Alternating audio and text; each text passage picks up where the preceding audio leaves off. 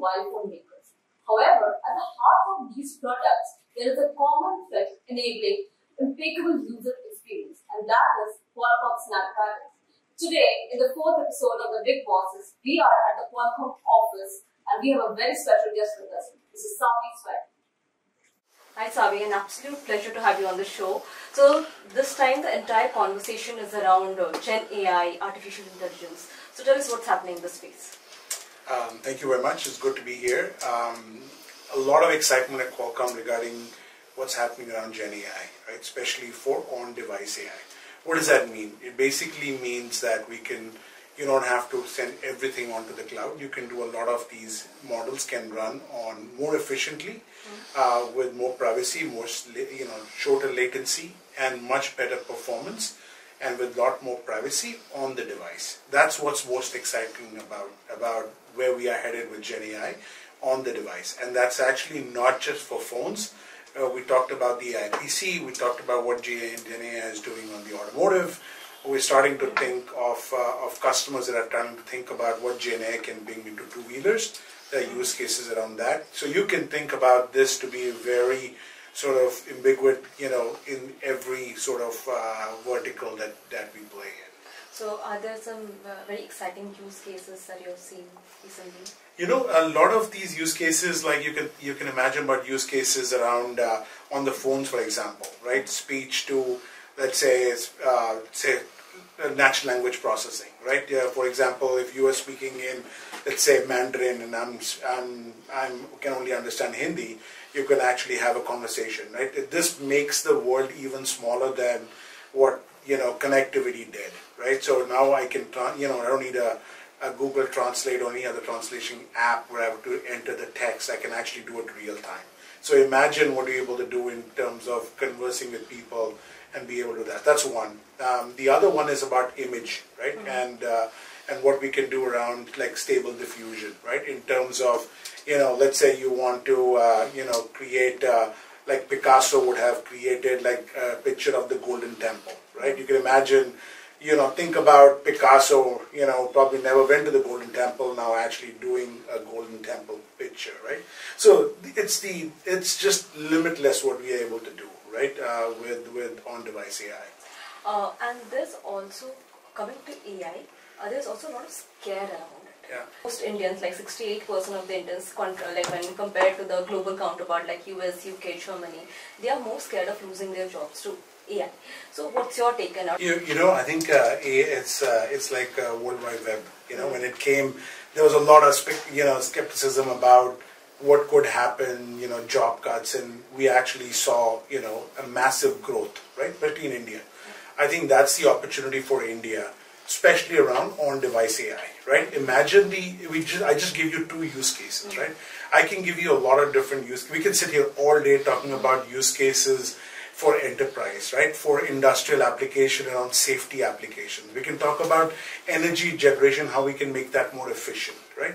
You can imagine the amount of use cases that all of these can able to do. I think it's time that the, especially I think the Indian companies like the, you know, the system integrators, the large ones, that have so many software, you know, embedded experiences, right, can actually do a lot you know, a lot of good business, right, on, on device AI. Because all of these need different use cases, right? We haven't even thought about some of the use cases.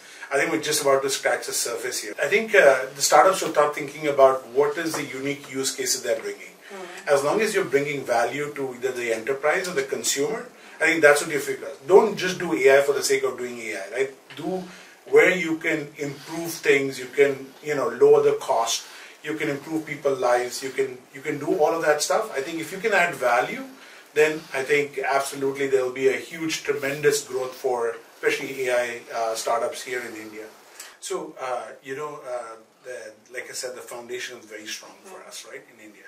Uh, there are some chips that are designed end to end in India. Some are through partnership with our global teams, right? So it's not that all the chips are here, but a lot of our chips actually, you know, uh, but India has a very important, um, uh, you know, piece of all the semiconductors that we ship globally, software as well as. Now, Go ahead. No. Um, I was I was going to say um, uh, I, I think uh, you know we've been here for 20 years. In fact, two weeks ago we celebrated our 20th anniversary uh, in Hyderabad, and later this year we're going to have the same thing in our Bangalore office. Right? We in, uh, we just inaugurated our Chennai facility, and we have a huge presence in Noida. So we're pretty well established across across India. Right? Um, what is important for us is uh, is uh, is to continue to innovate and bring more and more innovation.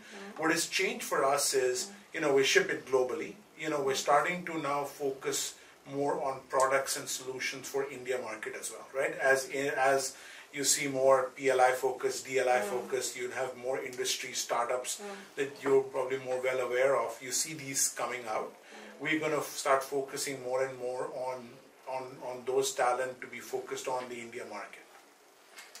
Okay. So currently in India, there's a push for semiconductors from our prime minister, know, making it a global semiconductor hub. So in this, how are you go? How Qualcomm is going to add value to India, India's semiconductor aspirations? Yeah. Like in terms.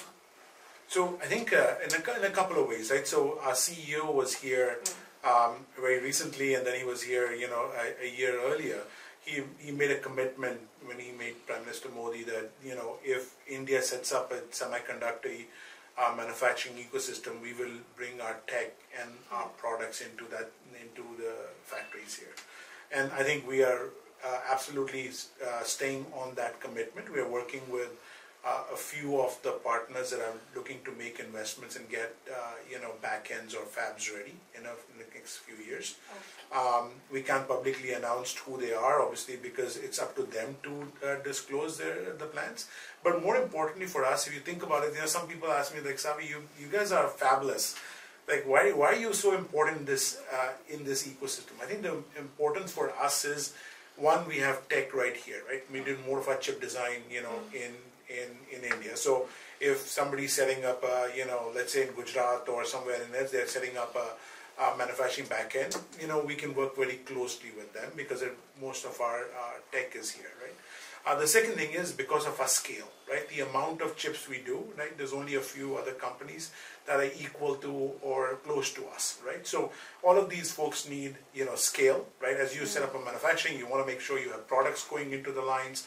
You want to make sure that you bring the tech. We have the tech locally, and then we certainly have the ability to actually help these companies, you know, in terms of which tech nodes they should be focused on. You know, what should be the back end that they should focus on and what else we can do. So we're providing a lot of tech guidance not only to the government but also to these private uh, enterprises that are looking to scale up. So we're very um, we're very excited about what the possibilities are uh, in the next uh, you know hopefully very soon Okay. um, to to have products that are you know at least some element of those manufactured in India. Coming to smartphones, uh, what surprises do you have for the Indian consumers?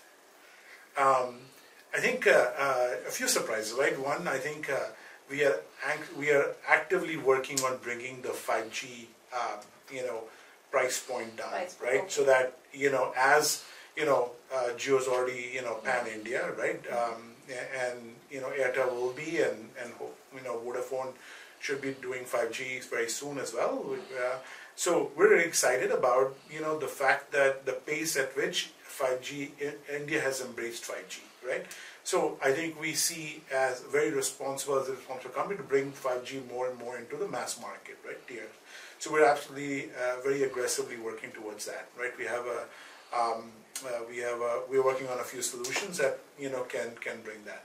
Second, I think is uh, around AI use cases. Right? We have our first developer conference uh, a few weeks ago, right? And it was very good to see some of the new innovative use cases that developers were coming out. So I don't want to spill their beans, but you will see a lot of you'll see more and more AI capability on the phone. You- any innovation in the FWA space? Yeah, I think on FWA space, uh, uh, uh, the innovation would be what what else can we do to lower the, the cost, right? Uh, uh, drive um, uh, and, and drive more the ability for more Indians to be connected using fixed wireless, right, and not wait for fiber. So I think you will find us doing, um, you know, we'll be doing, you know, uh, other solutions um, to lower that cost to be able to get more and more uh, consumers on board. Okay. So apart from smartphones, what are the other verticals that you're looking at?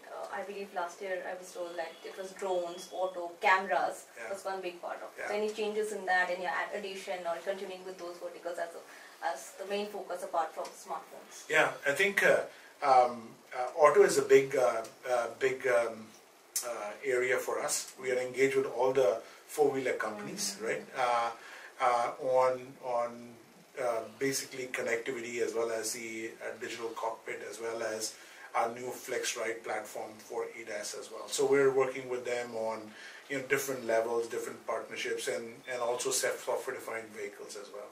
So a lot of stuff that's going on into our four-wheeler uh, initiatives.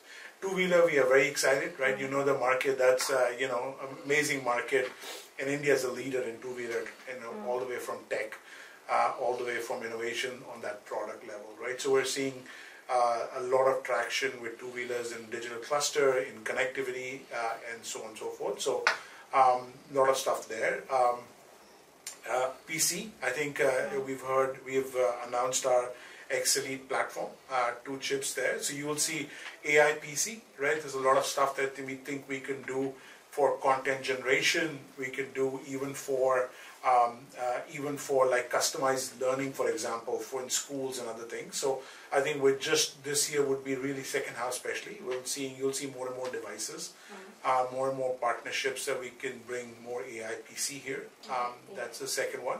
Uh, yeah, then the other one is obviously um, you touched on fixed wireless and access points. We think that's a big market on Wi-Fi 6 as well as you know access you know uh, se- setting up fiber to your home right? Instead of fiber wi- wireless 5G wireless uh, into your home. So you know we're absolutely working with uh, all the major operators to to bring uh, that connectivity.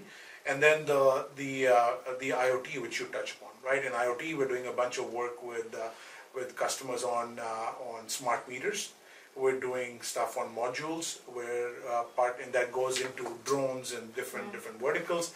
Um, we're also bringing stuff on IP camera like body dash. Um, we're also very excited about the Edge AI box, right? Which is you know inference at the edge.